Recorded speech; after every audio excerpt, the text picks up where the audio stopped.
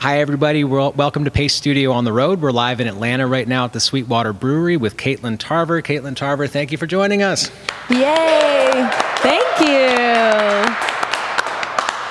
Thank you for having me. Congratulations to you. Uh, Subject to Change comes out a week from today. We're going to hear music from it. Uh, we're going to hear a ton of music from it today. What's, com- what's happening first? The first song we're going to do is called Hurt Like That. Let's do it.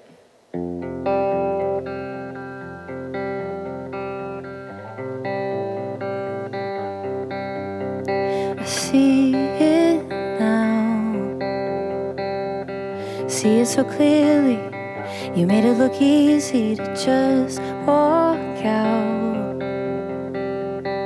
Like it was nothing. How could I have known when you said you were in love? I hate that I believed you. Now I see what it was.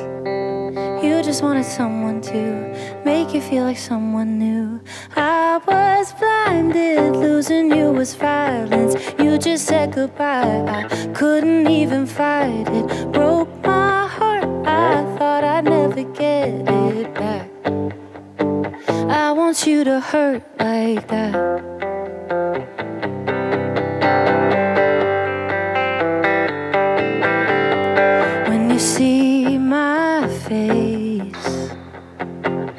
You even miss me? Do you feel guilty and lie awake? Cause you can't live without me. At least that's what you told me. You said you were in love. I hate that I believed you. Now I see what it was. You just wanted someone to make you feel like someone new. I was blinded, losing you was violence. You just said goodbye, I couldn't even fight it. Broke my heart, I thought I'd never get it back. I want you to hurt like that.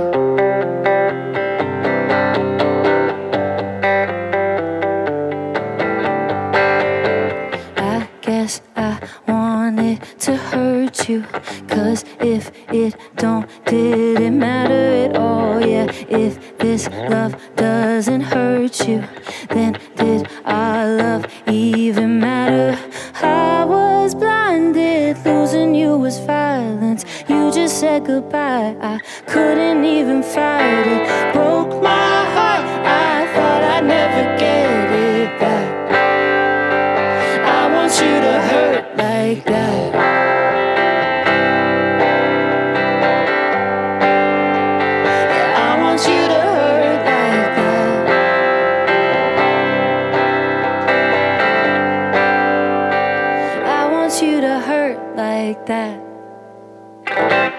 Thank you.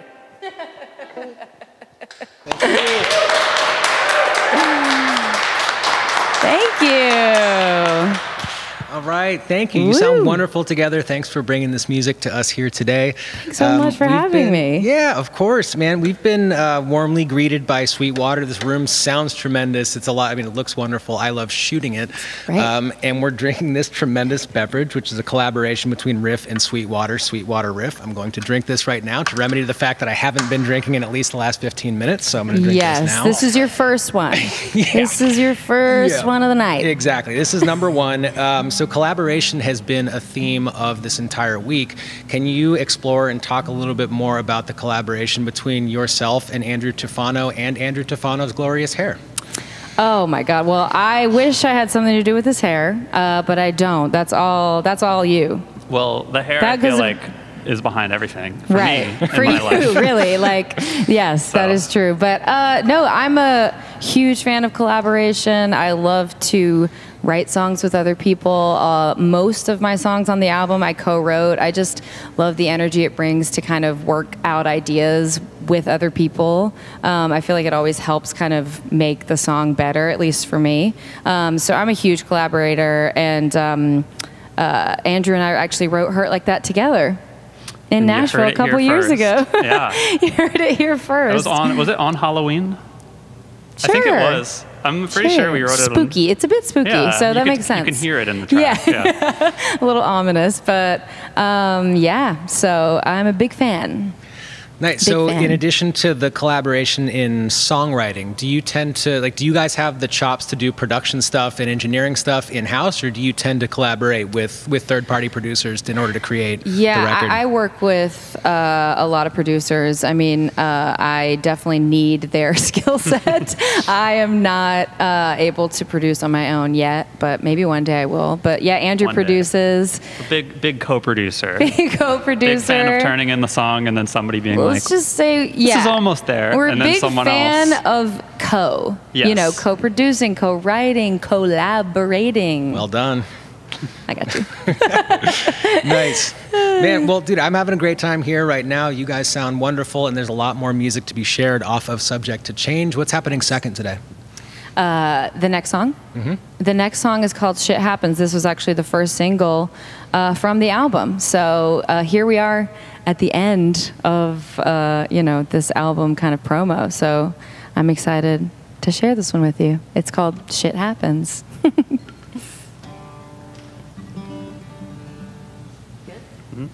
All right.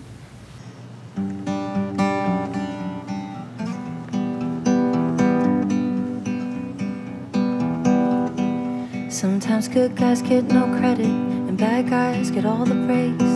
You get that house you wanted, but it's just more empty space. The happy couple you look up to is getting a divorce. Your ex is dating your best friend, and you can tell he loves her more. And I'm not trying to be all doom and gloom, but sometimes shit just happens worse than you can imagine. Stop trying to make it make sense. Sometimes shit just happens, there's no real deeper meaning. Let me save you the suspense. Sometimes shit just happens, and you learn to live with it. By all means, find the silver lining, make good out of the bad. But don't tell me there's a reason that somebody lost their dad. Yeah, I know it's hard to swallow that no one's in control. No matter how you try and steer it, life's gonna throw you off. And I'm not trying to be all doom and gloom. But sometimes shit just happens worse than you can imagine. Stop trying to make it make sense. Sometimes shit just happens, there's no real deeper meaning. Let me save you the suspense. Sometimes shit just happens. You might get cheated, get lost and defeated. Find yourself looking for the cause of your pain. But there's not always someone or something to blame. Sometimes shit just happens worse than you can imagine. Stop trying to make it make sense. Sometimes shit just happens, there's no real deeper meaning. Let me save you the suspense. Sometimes shit just happens, and you learn to live with it.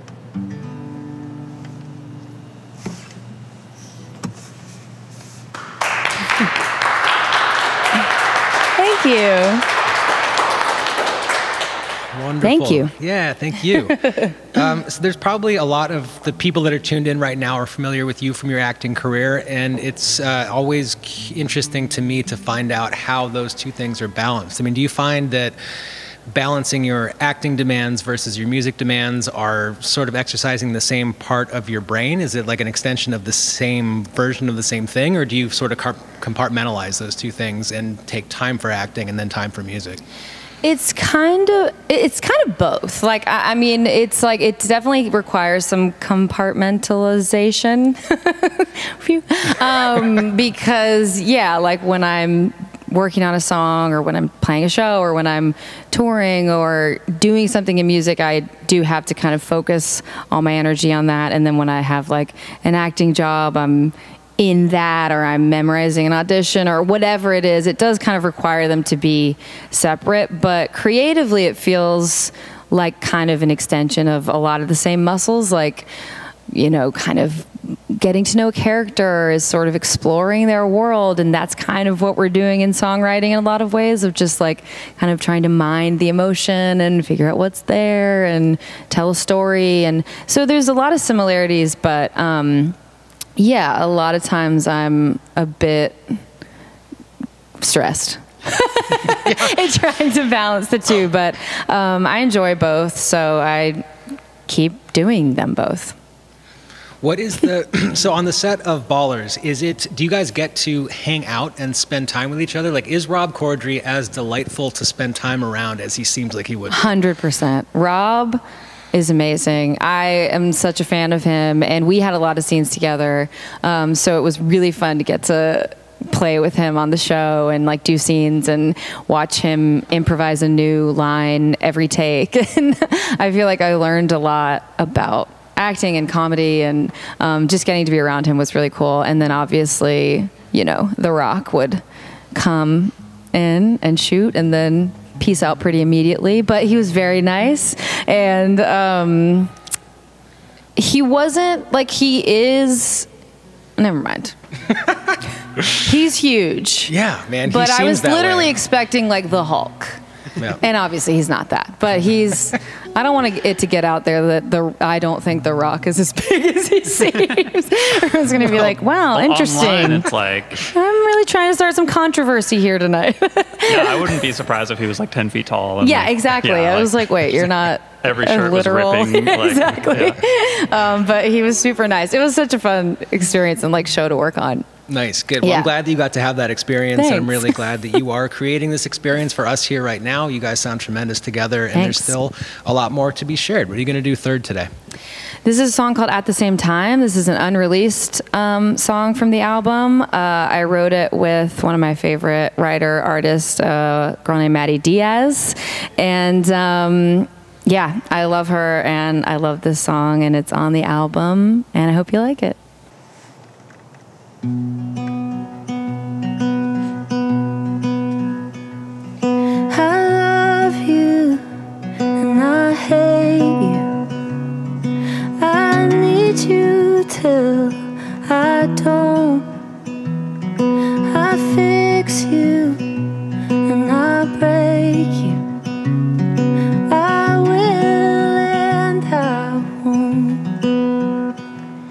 Just when I barely got my grip, I start to lose.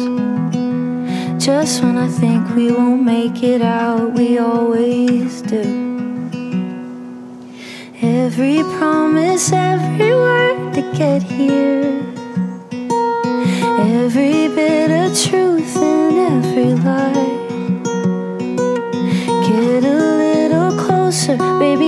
never come easy. So many things can be true at the same time.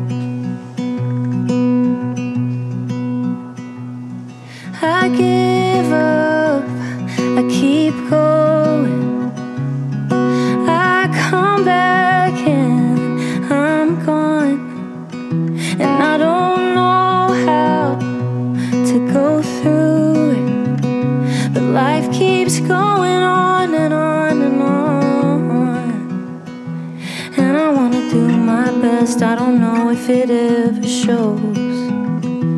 Then it turns out I know even less than I thought I'd ever know. Every promise, every word to get here. Every bit of truth in every lie. Get a little closer, baby, it'll never come easy. So many things can be true at the same time. I say things I don't mean. Just trying to make peace, not trying to start a war, just trying to make peace with it. I don't wanna fight, not settling a score, just trying to make peace with it. Every promise, every word to get here. Every bit of truth in Get a little closer, baby, it'll never come easy. So many things can be true at the same time. So many things can be true at the same time.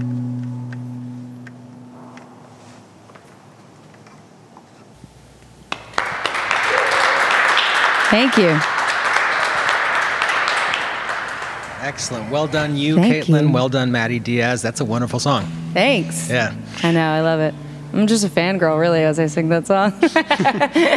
Thank you. Um, are there? So I know from uh, from chatting offline a little bit, you've got a headline show at uh, at the Mercury Lounge on December seventh in, in New York, and we also know that there are a number of dates. This is public information. Yeah. The, Yeah, yeah. There, there's going to be some more dates in December coming soon. Wink, wink. Um, and then I'm touring next spring with Johnnyswim. Okay, so that is public. info. We are. We are. Yeah. yeah, okay. yeah, that's out there, public info. Um, we were supposed to be touring in October, and we pushed it to the spring. So I'm looking forward to it. Yeah, yeah. I'm vicariously looking forward to that on your behalf because Abner and Amanda are just two of the most delightful people Just of the all time. best. Just the best. Yeah, I'm, I love them so much, and I'm so glad they agreed to take me out on tour.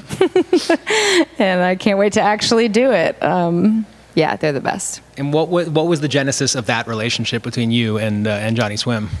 I mean, so early pandemic, I started doing Instagram lives like everyone else uh, in the world. Um, and I started kind of doing these daily like Instagram lives, talking to other artists or the writers, whatever. And I um, just kind of kept doing it week after week because I was like, this is kind of fun. And I hit them up because we have some mutual friends and i was like would you guys want to come on my instagram live you don't know me but i think it'll be fun and of course they were like super down to do it and so we sort of met for the first time over instagram live and then they started doing these like live streams from their backyard and they brought me on to sing a song for one of those last October, so a year ago now.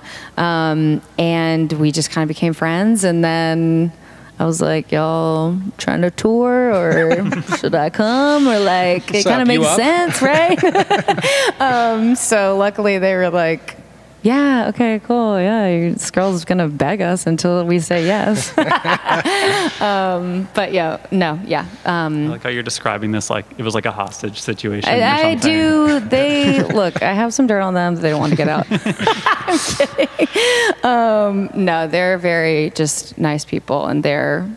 Yeah, I just feel excited to do it. So Yeah. yeah, Yeah, the genesis of our relationship was all it was a very much backyard centric as well. We met him in a backyard in Nashville, we and it was outstanding. backyards. You know, yeah, they're yeah. great. Uh, they have a great backyard. So Comfortable couple of people, and I hope the, the Stockholm syndrome situation works out wonderfully between you guys. I have yeah, no doubt they're that like, it will. hey, um, it's not going to work out. I should honestly wait to say these things till after the tours because there's a lot of time between now and the tour.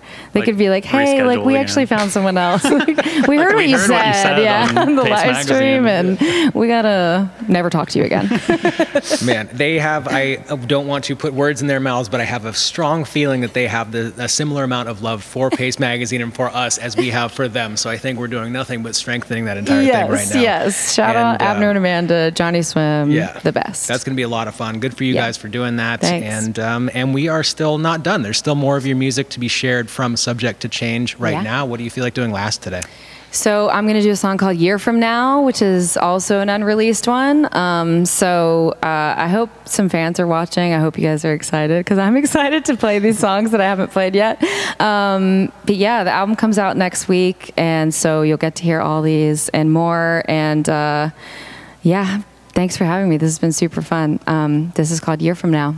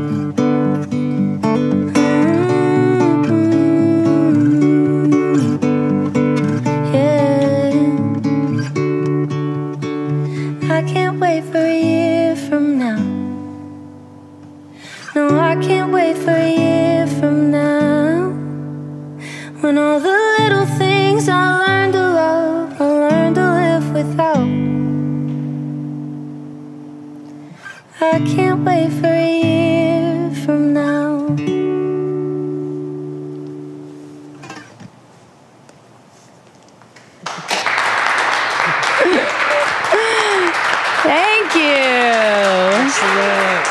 Thank you. Yeah, you did it. We did it. We, We did, did it it. together. Cheers to you, Katelyn, and to Andrew as well. You guys sound wonderful together. So thank you for what you did. Um, congratulations in advance on Subject to Change out a week from today, and uh, travel safely between the New York date at Mercury Lounge December 7th and all of the yet to be uh, announced upcoming dates. And uh, man, this has been a lot of fun. Let's uh, Yeah. let's do it again. Let's do it again anytime. Thank you so much for having me. This has been super fun. Thank you. Thanks. All right, that is that. We did it. Yay!